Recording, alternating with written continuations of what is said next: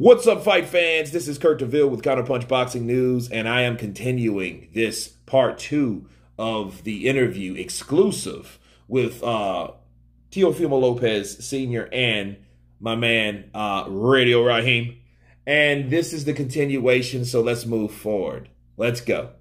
It was just disgusting, you know. It was, uh, it, I could not believe what they just did to us. But you looking, know what? They just stained us. Well, looking forward, but looking forward, where does Lopez go? If not at 135, we're gonna go up to 140. Um, get a fight in February, and then fight Josh Taylor in the springtime. We're still gonna do what we said we was gonna do. This doesn't change anything. You know what I'm saying? I don't believe in judge decisions because they could be compromised the same way they compromised us in the Olympics. You know what I'm saying? Um, everything could be bought. You know, that's why I told I, I, I teach my boy, you got to take them out. If you don't take them out, they could touch us. They could do something to us. So, um, he's not giving the rematch, as you guys heard. He's not giving Kambosos the rematch. Well, give you know, I, so he's not even entertaining that idea. He wants to go to 140. And, you know, I guess that's the reason for him not winning, but you you thought he won, which was is totally retarded. Okay? Because you didn't say what happened to him. You just said, well, when you don't knock the fighter out, this is what happens. But what did 135 being there have anything to do with him See, there's no, uh, he's not even talking reasonably and sensibly about why his son stayed at 135. You know why? Because he's so damn proud to the point he doesn't want to give his son any realistic flaws. And if you, and if, uh, from the first part of this epi- this interview, you heard him say nothing about what Teofimo should have done, could have done. You know, like someone like realistically, like like um um, well, not not even like like like Kenny Porter because Kenny Porter really didn't say. He just said what you know what uh, Shawn Porter didn't do and what type of shape he wasn't in. Teofimo, we're not even hearing that as of now. Okay, so he's not even trying to go back by that. But then I'm like, okay, well, why wouldn't you want to rematch something that you? I, I guess if you feel you already won, but my guess would be you don't want to get in a, another firefight with that guy on for on foreign land. Okay, of Kambosos and lose again. You know, because see what they're doing, they know that there's money fights that they're trying to get done. Like um, Josh Taylor. And speaking of Josh Taylor, people, why would Josh Taylor want to fight Teofimo Lopez now after he took a taken a loss? You know, they're talking as though they still have those damn belts. But even though he would have to leave them at 135 like he planned to do. So he just got his ass whooped before he could do so because they got took from him. Okay, but him taking those fights at 140 and then thinking he's going to get a Josh Taylor fight. What if Josh Taylor decides, well, you got beat, so I mean, really, what good are you? You know, because you lost. The WBO, they don't have to do anything. Now, if Josh Taylor wants to give him that opportunity for all his belts, that's one thing. But he doesn't have to do anything with Teofimo because Teofimo lost. He lost those belts. So that's a big difference between what you think you deserve or what you think you earned versus what you lost and what you think you're entitled to. Because it's seeming to me like his dad is saying that uh, we're going to go do this because we're entitled to do this, and they're not. See, if he would have took all those belts now, in in in realistically, if Teofimo would have beat Devin Haney, then he would have had every belt. Then he would have been undisputed at his weight class at 135, where he campaigned. Okay, he didn't pull a Tank Davis and went to 140 and fought on a trial run against a smaller guy or a smaller champion rather. He never been there yet. He just talked about going to 140. Yes, he's been talking about that for years. Uh, Lopez Senior is right about that, but what does he think he deserves at 140? What fights could he get at 140?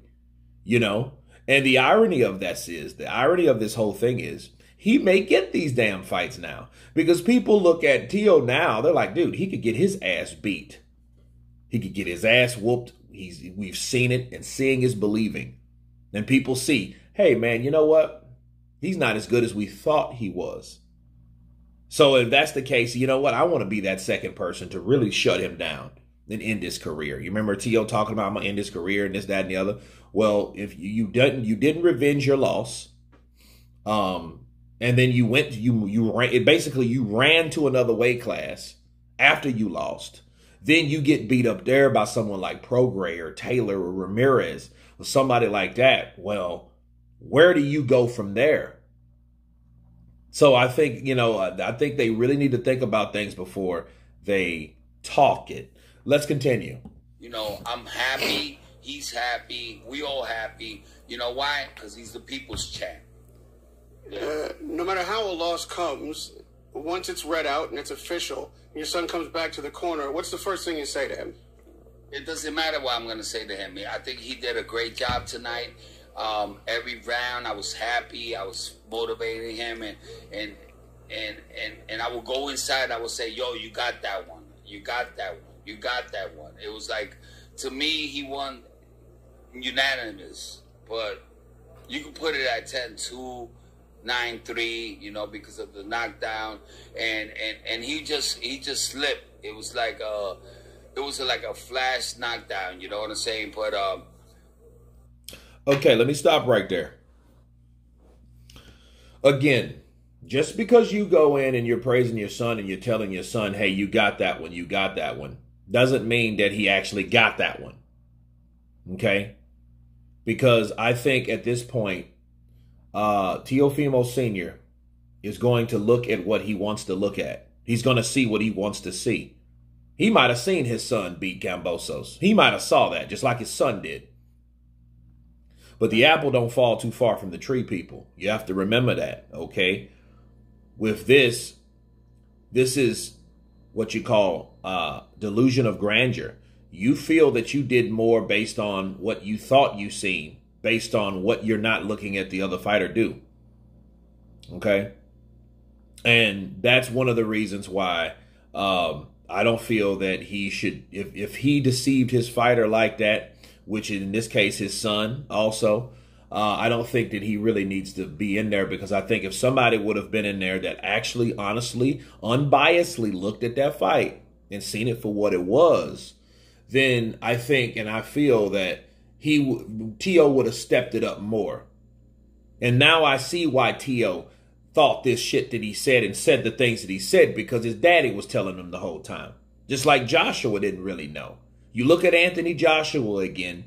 He didn't really know where he was. Why do you think when they said in the new and Joshua, he was like that because he didn't expect to lose that fight based on what his corner was telling him.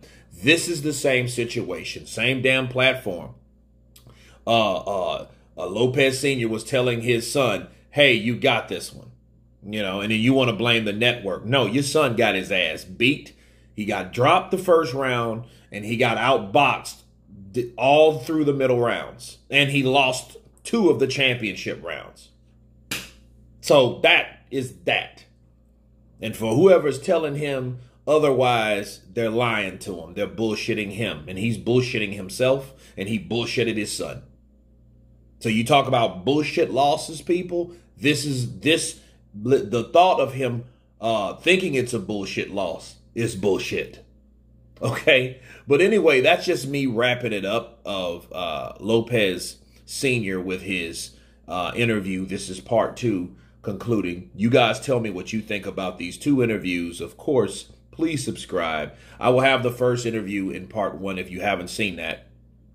Tell me what you think, and you guys been counterpunching. Peace.